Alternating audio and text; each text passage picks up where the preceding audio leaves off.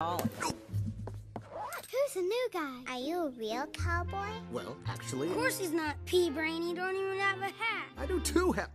My hat! Told ya.